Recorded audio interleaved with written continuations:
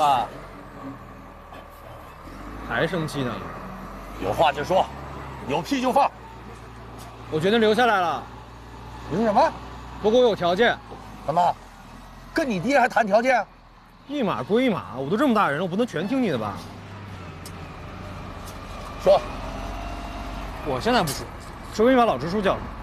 那行，回头啊，咱把文童叫上一起，咱们再一起谈。别呀，这咱们男人的事，你叫他干嘛呀？都是一家人，有什么话就直说。怎么？你心里有鬼啊？行，那我们就去彭双那儿当公事来谈。行，去政府就去政府，我还怕你呀？哎，是不是大王的松口了？怎么？他要是松口了，你就能放我走，给我财务自由啊？财务自由？你有财务吗？我就知道你想等新矿一开，让我接班，再娶了文彤，给你和我妈生一堆孙子，对不对？对呀，有问题吗？哼，想得美！你说什么？没事。这是大旺哥家的茶，可香了。哦，彤彤，你就别忙着帮着推销了啊！你大旺哥又不是卖茶叶的。叔啊，我还真有个想法。在矿山上种茶树呗。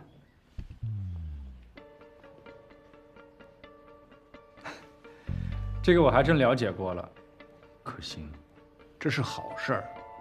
只要不耽误咱们村子里的核心企业生产，我肯定是全力配合和支持的。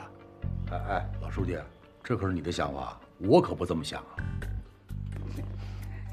两位叔啊，你们一位呢是绿野新村的支部书记，一位呢。又是我们优秀企业家的代表，你们两位能经常来我这喝喝茶、唠唠嗑，那肯定没把我当外人。我这心里啊是非常高兴的，是吧，孟初？哎，是啊。其实我觉得吧，大王哥走到今天这一步，真的特别特别的不容易。你想，他责任心这么强，肩上担子这么重，是常人都无法想象的。之前呢，我跟他拍纪录片的时候，我就深有体会了。哎哎哎，当然了，更让我感触的是我爸。他敢为人先，勇于担当。当年政府说开矿，他第一个就上了；政府说扩大生产、提高经营，他立马把挣来的钱全部投到了生产建设当中。他付出了多大的努力和牺牲啊，对吧？才有了现在的十八家村企，才有了今天的绿野新村啊。哎，咱们村以前叫啥？烂树坑啊！行了行了行了行了，这事你提它干什么呀？这省里还有政府政府那个劳模大会上都说过好几回了。哎，你让孩子接着说。你看我这，你这…… 当然了，我爸的这些行动呢，都得有文老支书的带领下才能完成的嘛。哎，行了行了行了啊，咱别这么说话，我怎么觉得 累得慌？哦。当然了，最让我触动的，就是文彤了。这也是我愿意留下来的原因。我决定呢，陪他在山区度过一段时光，直到他做出最后的决定为止。不是，什么叫度过一段时光啊？嗨，我说的不是我俩的感情问题，我说的是关于事业的选择问题。你想，我以前不愿意留在山村，对吧？但现在我不是也适当调整了吗？那保不齐有一天文通不想当老师了，想跟我去城里发展，也不是没有这可能嘛，对吧？不是什什什么叫暂时？哎呀，这孩子说的有道理，这孩子自己的事情啊，以后让孩子自己决定啊，你少管。所以说啊，现在就有一个问题要去解决，不然呢，我刚刚的决定就没有任何意义了。就是咱们家的新矿，到底能不能开了？哎，这是重点。这确实说到了关键处啊，嗯，我这边的一些想法呢，大家都清楚。那既然孟初都这么说了，我想你肯定有一些意见和想法，不妨你跟大家都说说吧。啊，我是这么想的，虽然呢政策我不太懂啊，但我唯一知道的是，咱们家的矿那肯定不是说开就开、说关就关的嘛，对吧？嗯。但是呢，大旺哥。也有他自己的想法嘛，不是？我觉得于公于私，于情于理，二老是不是都得支持配合一下？也得给人家一个尝试的时间嘛。话说回来，如果大王哥没有实现他的想法的话，那就一切维持原样，甚至批复新矿开工。如果说呢，我没有带领着企业成功的转型，那也是说明我的失败和失职。但是两位说，你们总得给我一点时间。哎呀，这需要时间，需要时间。你哎哎哎，等会儿，等会儿，等会儿。不对，不对，王梦初啊，我怎么觉得你这话里话外的，你是来回和稀泥？你你墙头草啊你？我是在认真的帮你们分析，我这怎么是和稀泥呢？这样吧，咱们就以一年时间为限。这一年时间呢，我跟您在矿里学习，一边呢了解大旺哥的工作发展。啊，一年后咱们见分晓，怎么样？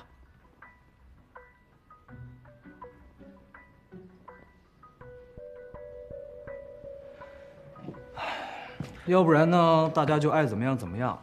反正我是不相信，大旺哥在没有一个切实可行的转型方案之前，敢强行关矿。那是，我也不相信二老敢违反现在的政策法规，强行开采。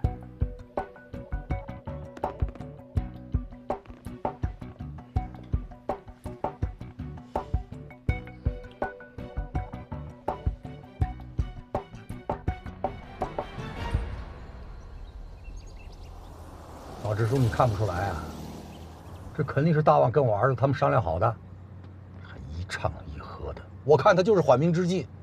根据目前这个状况看呀，这个缓兵，他倒是上策。上策？对。哦，您的意思是说，他们做他们的，咱们做咱们的。等咱们把事情都准备好了以后，咱们说开矿就开矿，是这意思吗？哎呀，老支书啊，你的脑子就是灵活，想的就是远。哎呀，这我就放心了。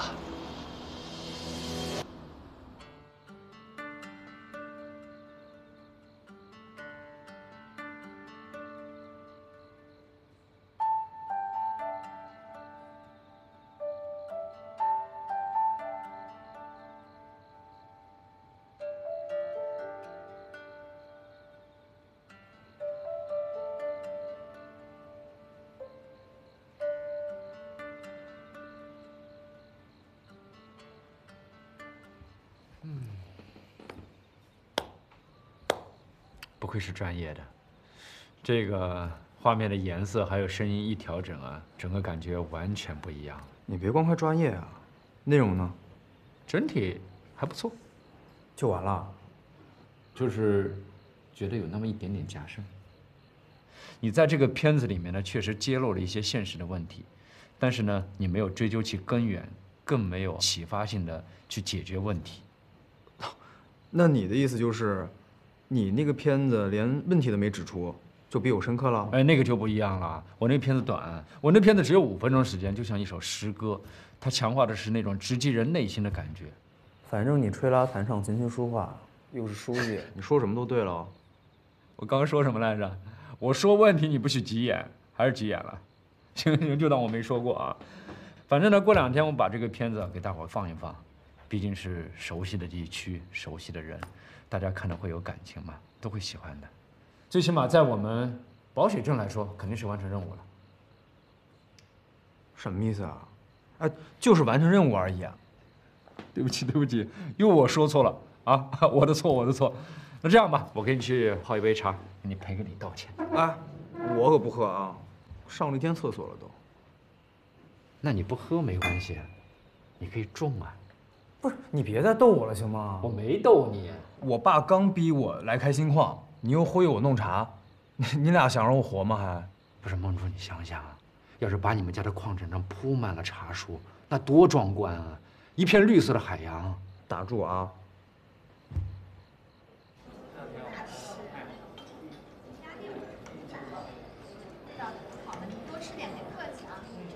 来来来来来来，朋友们，硬菜来了，小鸡儿炖蘑菇，特意给你们做的。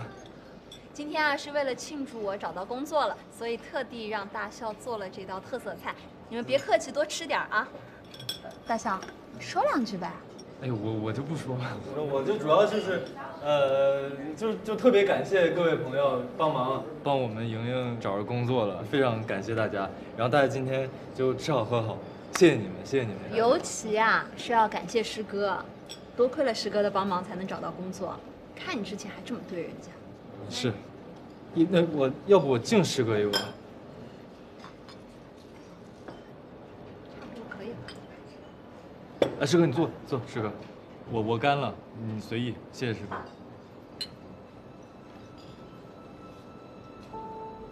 慢点儿。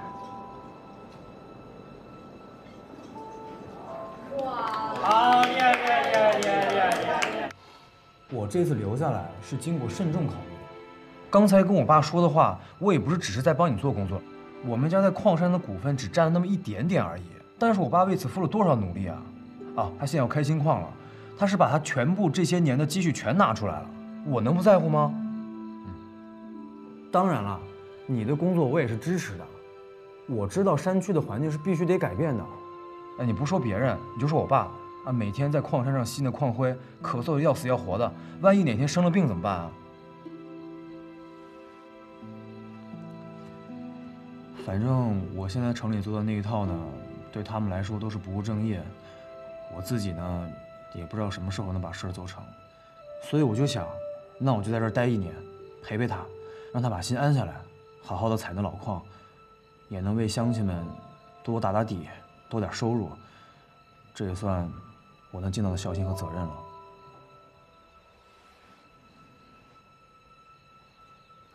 这个呢，我也能理解。但是啊，关于采矿，还有你那个什么产业转型，我是一点兴趣都没有啊。我这个人不感兴趣的事儿，我是做不好的。所以，只要时机成熟了，我随时都会走。你要有这个心理准备。明白。既然你呢跟我说了这么多实话，我也跟你说说我的实话吧。其实我也有一个计划，我就想用那种类似于企业经营的模式去发展乡村建设，所以这就需要很多不同的执行者，还想要去争取一些像你这样有见识、有才华、有能力的年轻人来加入我们一起奋斗。可是听你这么一说，我就得好好琢磨琢磨了。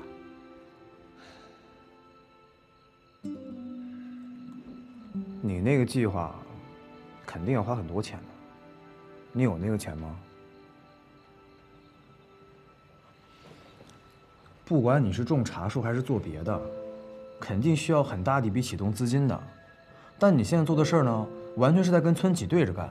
但凡你没有做出成绩之前，他们看不到商机是不可能配合你的。政府的引导资金也是一样的道理。所以现在你很可能需要一笔外来的资金介入，就是招商引资。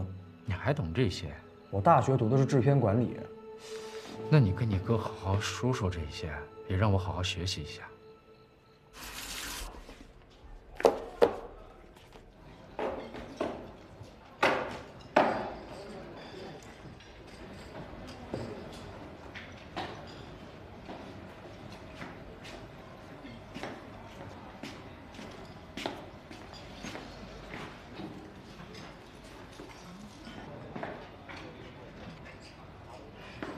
哎，你对象毕业了？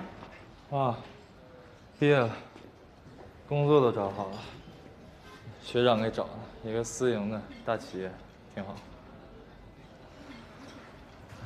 他倒挺有命的。哦，方梦初给我打电话说，你们以后要是有什么开销的话，就直接从店里面出，啊。行吧，那你明天给我准备两桌火锅，我给大家画画饼，先让他们把剧本弄出来啊。行，没问题。谢谢啊嗯。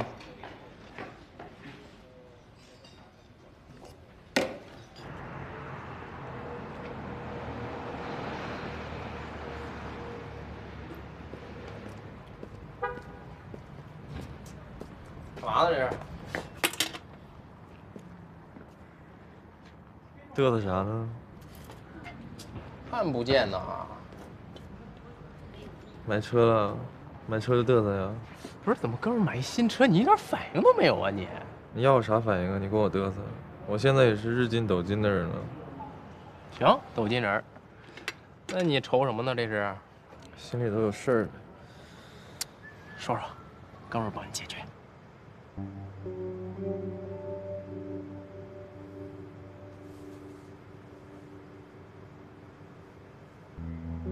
看着我干什么？怪瘆人的慌的。你觉没觉得欢子跟你挺聊得来的？一般人跟我都聊得来。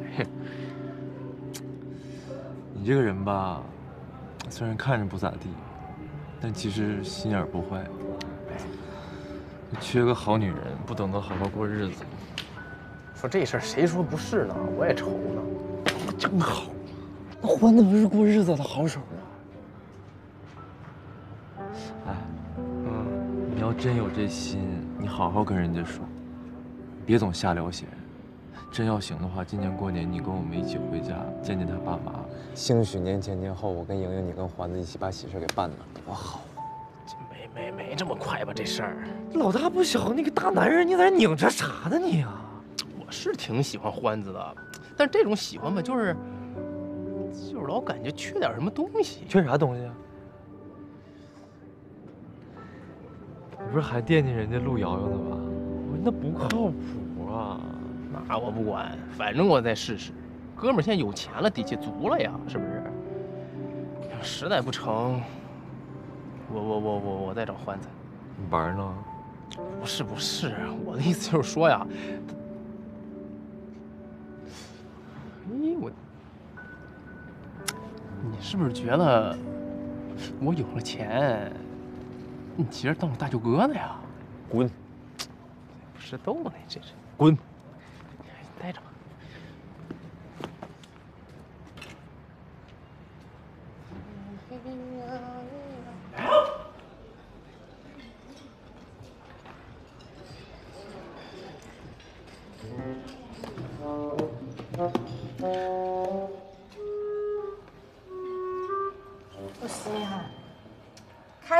买你不舍得买，现在倒挺大方。那时候哥们儿不是手头有点紧吗？但这回，哥们儿现在可是如假包换的真土豪。这这不行啊，这个。那就离我远点儿。我告诉你，你的小恩小惠永远赶不上我的变化需求。不是，那你也不能一上来就抢车吧？你这，除非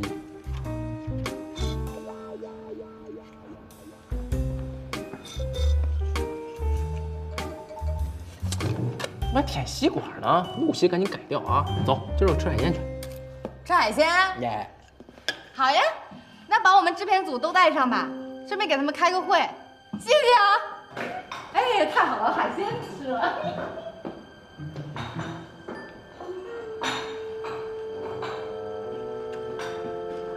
完了，送不出去了吧？怎么叫送不出去了？我不是早就说过吗？假的给他陆瑶瑶，真的留给他还。嗯，我可用不起，而且这也装不了啥钱。哎呦，这根本就不让你装钱的，这包让你装身份证的。你以后出去要用身份证，把这小包往出一掏，小身份证往出一拿，多有面子。韩淼，你说你有这么多钱，你就干点正事儿，对吧？你买这破东西有啥用？你投投资，做做生意，对吧？哥还有事，我先走了，留着啊。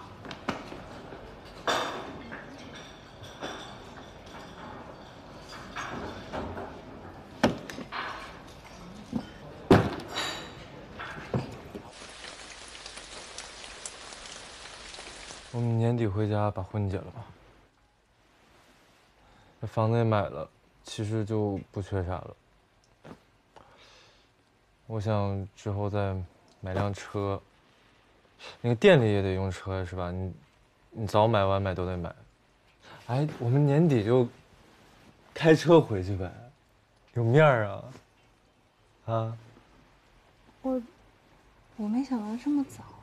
早啥早啊？你这老家那同学都结婚都抱孩子了，嗯早生孩子早防老，真的这点你必须得听我的，真的。哎呦，睡觉。妈妈，睡觉吧。我抱着你睡，不抱着你睡不着觉。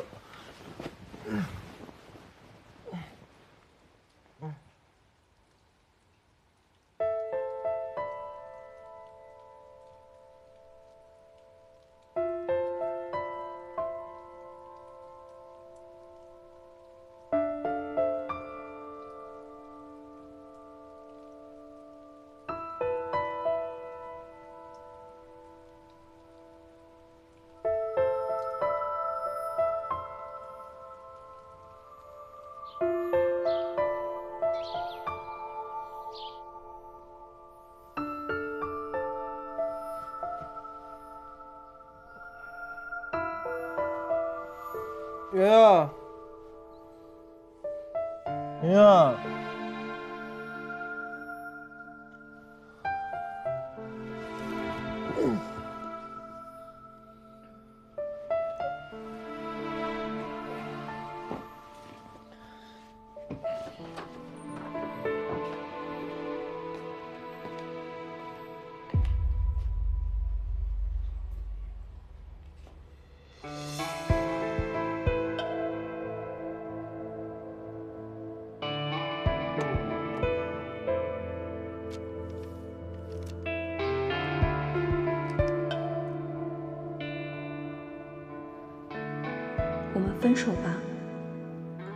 不知道什么时候有的这种念头，直到昨天夜里，我才坚定下决心，忽然也就轻松了很多。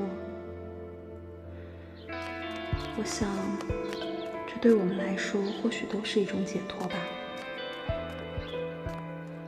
两个人在一起，如果一方已经不爱了，再勉强下去，那注定会成为悲剧。所以长痛不如短痛。希望你不要太难过。未来的日子还很长，你也注定会有自己的新生活。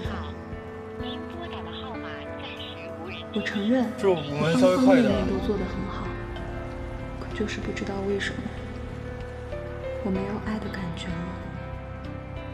起初我感觉到很可怕，实在不知道这是为什么。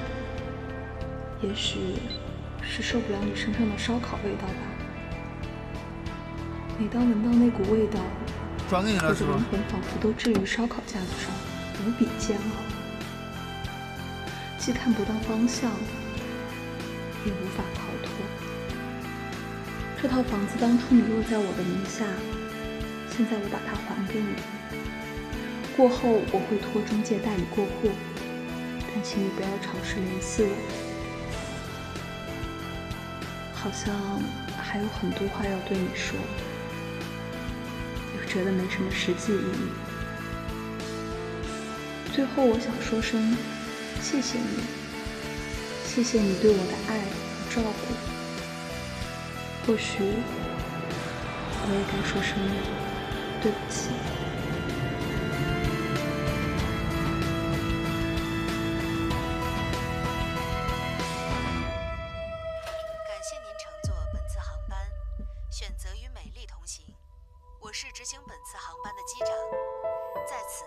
带领全体机组人员向您表示欢迎。我们将竭诚为您服务。Thank you for taking this online. This captain and all crew members. 今天早上我起得早，我专门到路口那个包子店去看了一眼，就那买包子的那些上班族，排队都排到公交车站去了。你说咱们要是把早餐时段也利用起来，客人是不是能挺多的？而且你看咱们这儿环境这么好，他们还能坐着吃一口，这多好呀！这个我早就想到了，咱们都不用弄别的，就豆腐脑、油条加茶叶蛋，然后营业到九点半，还不耽误咱们准备中午饭。你可拉倒吧，大姐啊！咱现在每天都两三点钟睡觉，是吧？但是做早餐呢，就得两三点钟起啊，一分钟不睡，连轴转，你挣钱不要命啊！你这死脑筋！谁说我们自己干了？我们不能找别人干吗？嗯呢，我们包出去也行啊。嗯呢，这么好的店，早上没生意，这太可惜了。就是，你要是包出去，那还差不多。就你死脑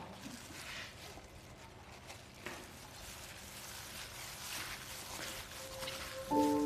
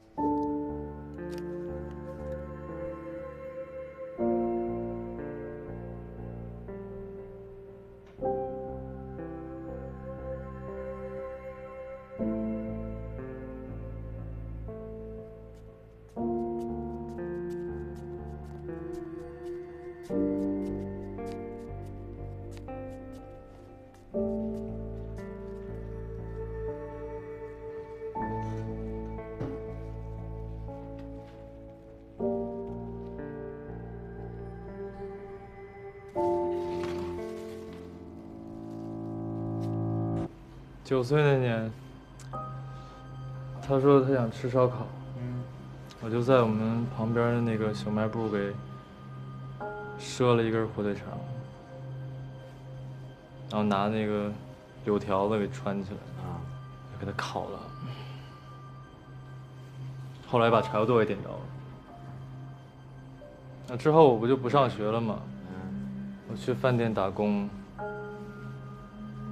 特意学的就是烧烤。然后那年，他们高考前几天，他们全班去水库玩儿，我给他们穿了八百个钟，然后带着烧烤架子我就去了，在水库边上给他们烤，他们就吃，吃吃喝喝，特高兴。然后他们同学就说说，长笑啊，你考的可真好。然后我说我说过几天你们也能考好。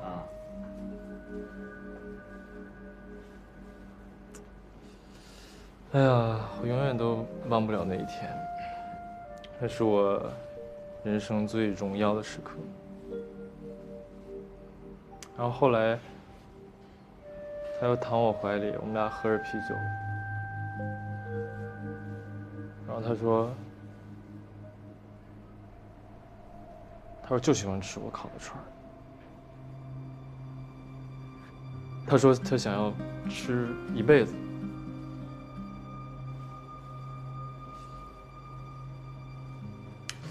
说他现在怎么就讨厌我身上油烟味儿了？可是我就会烤串儿，别的我都不会啊。我，那他是觉得烤串太低端了还是怎么？那我去学个烤鸭得了。啊？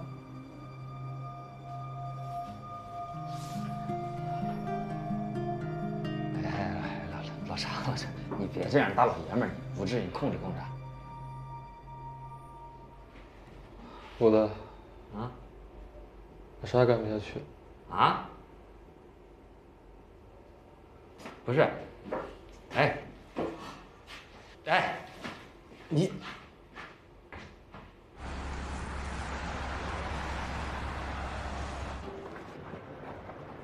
哎，加油！干嘛呀？我烦着呢，你别缠着我了。你你总得给我个机会解释解释吧？这么烂台词你都说得出口？咱俩有误会吗？你就解释解释的。啊？你你解释，你解释给我听，我可太想听你解释。你今天必须给我个解释啊！是是这样，我打一开始我看见你的时候，我就喜欢你了，你知道吧？不是那会儿我心里特没底儿，我就就有点装，但我不是为了骗你啊，我是怕我那时候不装吧，你压根儿就瞧不上我，这你也能理解是不是？你装不装我也不会看上你啊。不是，那你为什么还总喜欢跟我在一起吃喝玩乐，表现那么开心啊？这这这这你得给我说清楚吧？好，我实话告诉你呗，我就为了蹭吃蹭喝蹭几张电影票钱，这是基本功，更何况我还是个演员。你你你还差吃吃喝喝和几张电影票啊？你以为呢？你知道我为什么看不上你吗？啊！因为你只能看到我光鲜亮丽的外表，不知道背后我好多东西都是跟佳佳他们一起拼着用的。那你走心了吗？原来，你你也这么可怜啊！你才可怜呢！本来去山区拍戏赚了点钱的，结果都被方梦初给忽悠没了。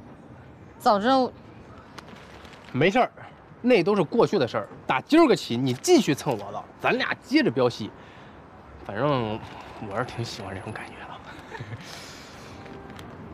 潘牧阳啊，我正经跟你说吧，大家呢当个普通朋友，有时候啊吃吃喝喝占你们点小便宜，我知道你们也不介意。可是吧，凡事他都得有个度，偏偏我也是个拎得清的人，别到时候大家闹的。彼此都没办法收场了，就不好了，对不对？我没事，我不在乎，只要你不觉得我亏欠你就成了。我怎么就跟你掰掰扯不明白呢？我发现。喂，欢子。嗯。嗯嗯嗯，好，嗯嗯，拜拜。欢子找你干嘛呀？问我有时间没？说一会儿商量个事儿。什么事儿啊？我哪知道？他又没说。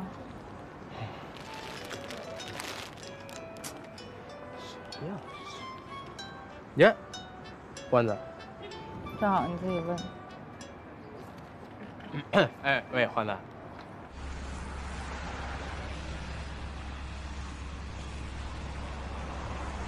我怎么琢磨都觉着，欢子这回又要出什么幺蛾子了。保不齐啊，他就是想让我……哎，你纠缠我呢，还是琢磨他呢？是我就是……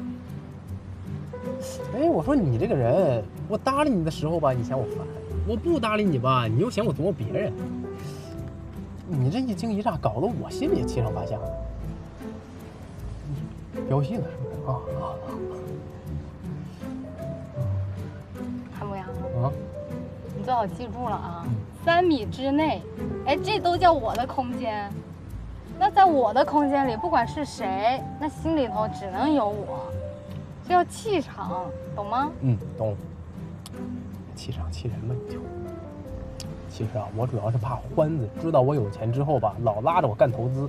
你说我这样的，我能投什么呀？你投我们下部电影啊？哟呵，你开车呢，别再吓着我。你吓着我了，投我们电影咋了？哎，人山区政府那么支持你们，你们搞成啥了？搞成啥了？你咋知道我们啥也没搞成啊？我就知道你们把方梦初都搞回家了。谁不？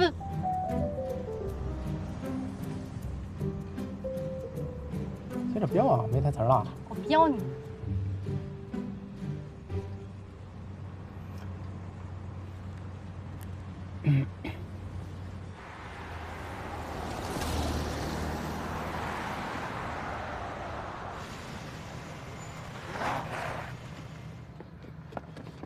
哎呦！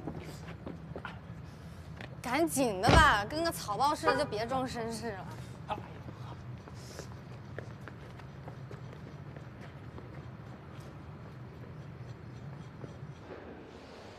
欢子，来了，快坐坐坐坐坐。啊，怎么了，欢子？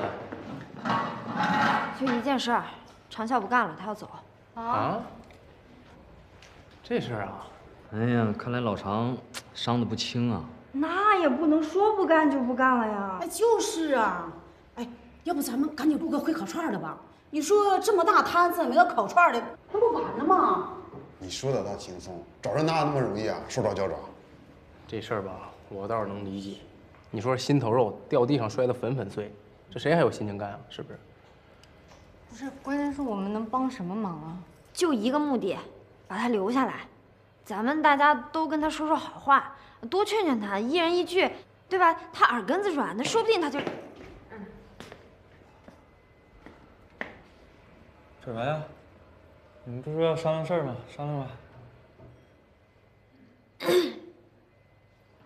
哎呀，长笑，你别走了呗。是是是是是，别走别走，我说你走。别走了，别走了，不要走了。你走了干嘛呀？你你别别别别走，我留下留下，别走啊！上上厕所。别走。哎呦，上厕所。不要走。哎，大哥大姐们，我说你们就会这一句话，没话了。不是，你看他那个样子呀，说什么都没用。不是，说点鼓励他的话呀，再不济说点什么让他留下来的理由啊。总之那么多能说的，就说这一句啊！你们行了行了行了行了行了，欢子，行了，别费劲了，你们也都别劝了啊，我已经决定好了。那你走了，这店咋办？我跟方梦初已经联系过了，他也知道这个时候说服不了我，然后我们俩就大概定了一个意思。哎，咱们这个店呢，你们要是觉得我走了之后还能继续干，你们就干；要是觉得不想干了，就兑出去。反正咱们生意好，名气也做起来，不愁兑。关键是这地要是兑出去的话，那我们影视部在哪儿办公啊？是啊，就是。这他倒没说，他肯定会给你们一个安排的。这什么人啊？那这么大的事也不提前商量一下的呀？行，我给他打个电话。别急别急，这这不是个什么事儿啊。就你是事儿。你先别紧张，我想想，让我想想，我想想。你想想吧，大家也都好好想想。那我就不在这儿碍眼了。成。我觉得咱们说什么也得坚持下来，这好不容易才支巴起来的，我不想给别人。哎，干呢，倒也不是不能干，就是长啸一走吧，人方梦初还能跟咱合作吗？咱又没钱，这这么大地儿怎么盘啊？这还得看您欢是啥意思。各位，这事儿看什么欢子呀？最后啊，还得看哥哥我。瑶瑶，只要你点头，就这个店，我盘了。哎，杨子，这事儿能干，不眼瞅着咱店赚钱了吗？倒也是啊，原班人马至少赔不了，赚赔我都无所谓。我的目的就是为了让我们家女神高兴。这样，我拍下来之后呀，二楼全给你改成影视部，怎么样？这个你你跟方梦初商量呗。那简单啊！停停，吓我一跳。长效一走啊，那烧烤影响太大。你现在就指着二楼那锅灶挣钱，你说你，你把它拆了，咱怎么挣钱啊？不是你们一楼不是这么大地方呢，还不够干呢？不行，咱在一楼隔几个包厢嘛。啊，你们要是嫌人多了，这样咱们开几个，是不是？开几个？开谁啊？也不开您，不开您，哎哎，要开我呢？也不开您，开哎哎，开点服务员。你把服务员开了，你让大厨、打杂的、买菜的招待客人。就是。你这个事儿，这个事儿你们跟欢子商量吧，好不好？反正我都说了，我干这个店赔赚我都无所谓，能保底儿就可以了啊。不是大哥，你不挣钱，我们跟你扯什么呀？可不是吗？那要这样，咱们干脆全部改成影视部，做把大的，玩个大梦想，传媒公司。电影你都不投，我们让不让你入股还两说呢。我，哎呀，还记得咱们初来乍到的时候吗？这条街不知道走了多少回，可是现在，啊，行了，二位，甭研究了啊。我刚跟方木叔打个电话，这个店哥哥我接了。那挺好的。哎，不行，为什么不行啊？不是欢子，你别误会啊，这个店还是归你管，你还是这儿老大。啊，不是，呃现在瑶瑶是老大，你是老二了，怎么样？啊？不，不行了？什么老大老二的呀？整的跟正房偏房似的。你要没文化，你就回炉再念几年书。我那不是为了给你立威吗？啊，省得你过来之后，你老看人欢的小脸色，你多不舒服呀！算你还有心。其实杨子把这店盘下来，对大家都好。我跟方梦初通过电话了，他最近需要一笔钱来维系他那个公司，刚好杨子现在有钱，这不正好吗？那根本就不是一码事儿。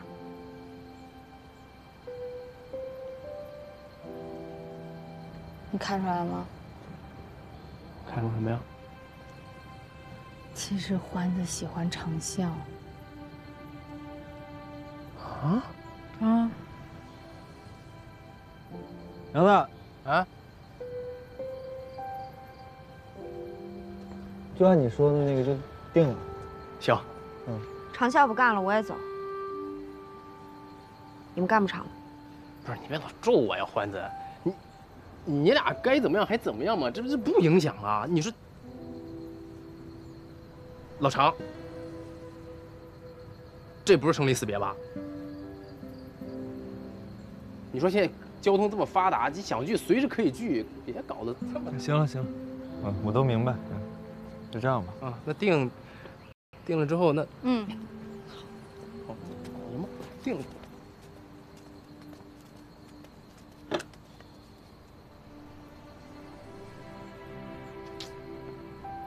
要照这么说，五子说的还真没错。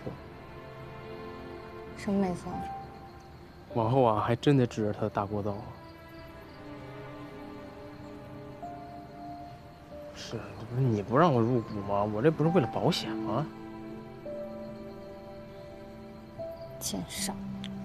我就奸，哎，喂，喂，我。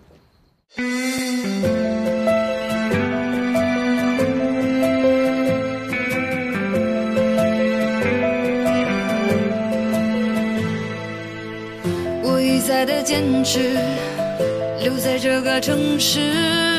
即便成为你的影子。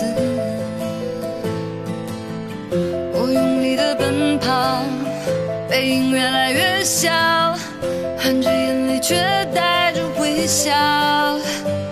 时间重复着昨日的忧伤，让我不停的坚强，又不停的迷惘。熟悉又陌生的地方，我是否应该留下来，还是独自离开？我们一起回到那梦想的地方，就像过去的